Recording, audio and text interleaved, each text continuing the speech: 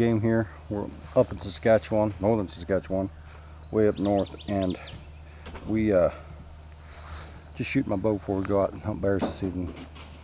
I just want to talk to you a little bit about this thing right here. This is a new release for 2017. Uh, Scott Archery came out with. It's called the Echo.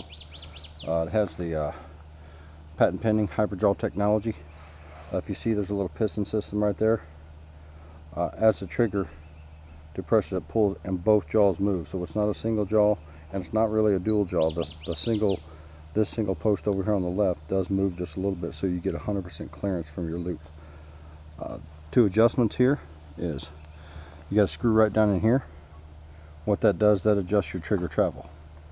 Then back behind the collar here, slide the strap over, you can throw an Allen wrench right in there.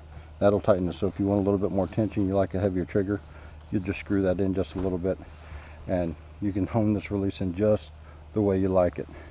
I've been super, super impressed. Been shooting this uh, actually since January and uh, love it. But one thing before I forget is it also has the new shotgun trigger that's uh, shotgun trigger that Scott is offering. So check it out, the Scott Echo. Only by Scott. Shoot with confidence. Shoot Scott.